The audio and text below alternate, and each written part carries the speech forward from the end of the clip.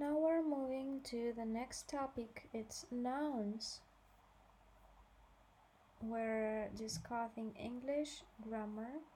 We have already discussed the adjectives, articles, conditional sentences, gerund and infinitive, modal and modal auxiliaries, and now we're uh, beginning the topic nouns. So it's countables and uncountables.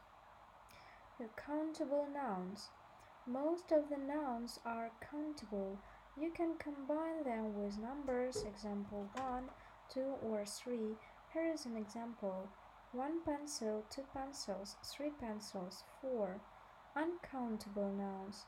These nouns cannot be combined with numbers. Water, butter, coal, money, salt, iron. If you want to express a quantity, you have to use a special phrase, example, glass of water. Note. Some nouns can be either countable or uncountable. We recommend to use a good dictionary to find out whether a noun is countable or uncountable or both. Here's an example. Hair, hairs. You've got some hairs on your t-shirt. There might be five or six of them. Your hair looks lovely. Here you think of the hairstyle. Thanks for watching. It was English Grammar with Luna Muro. Countable and uncountable nouns in English.